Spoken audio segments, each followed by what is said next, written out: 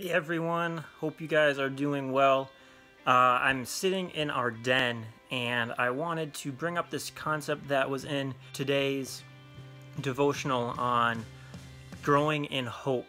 And um, I just want to start off by saying, man, this is getting really intense, this whole corona thing. It's getting to be kind of scary. And, and that's why I'm coming on every single day because I feel like we're not going to make it through this unless we depend on God. Uh, earlier today, I put on Facebook that there is a national day of prayer and fasting on the 29th, so that is this Sunday. Um, I'm, I'm going to be doing that. I'm going to be um, spending time in prayer. I'm going to take a break um, from eating um, just to remind myself that I am dependent on God, that He is my sustainer, He's my provider, and He's the only one that's going to get us through that. I would love to know if you're going to do that with us. I think as believers, this is the greatest opportunity we have to combat this coronavirus is to pray and to realize who God is. With that being said, in my den right above me are a lot of the pictures that my kids have made. And today's reading was about God being creator. And I think in times of these, sometimes it's easy for, to forget who made everything. Just like some of these pictures up here, we don't necessarily understand or why they colored them the certain way they did or, or what even the picture is. But it's important to realize that it doesn't necessarily matter what I see. It is what my kids decided what it was, what they made it to be. They are the creator. They purposed it. They made it and they gave it reason and found value in it. Guys, God is the creator of everything.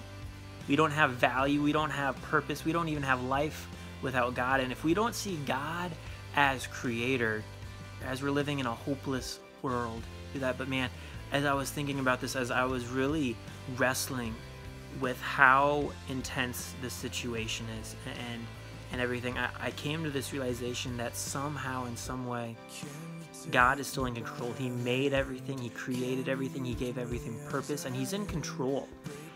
And as I think we're starting to feel this sense of insecurity and, and not being in control with us, um, not being able to go out and do what we normally do. Uh, maybe our jobs are at risk. Uh, we've been out of school and it looks like it could be potentially even longer. But realizing that He is still in control, and I would encourage us to seek God, see Him as creator. Uh, today isn't super, super nice, but I did go outside with my kids today, and I was reminded of that as I, as I looked outside. I, I realized that there's still order in life. There's still order in nature, and that is only through God. So I would encourage you guys today, sometime, go outside, even if it's only for five minutes, and just stand outside and look. That, that even though this, this whole coronavirus is going crazy, God still has control. Nature is not falling apart. The world is not falling apart. God is still in control, and let's trust Him. Again, Sunday the 29th will be the day of prayer and fasting. I'm also preaching that Sunday. I'll be on Facebook Live at 10:30. It will go on YouTube later that evening. So I would love for you guys to tune in. Um, it would be awesome. What I love about Facebook Live is you guys would be able to actually leave comments as I'm preaching, and I'll be able to see them. So it's kind of like you're being allowed to talk in church. Um, and I may be even able to interact with some of those things. So please tune in 10:30 on Sunday. Um, I'd love to to virtually see you there. If you guys haven't checked out the Devo I've been doing, I'm to leave a link to that at the bottom in the comment section. Please join that. Uh, just go through it. It's once a day. Please. Hey guys, I'm praying for you guys. Let's join together. We can't fight this on our own. It is only God who can fight this. I'll see you tomorrow. Peace.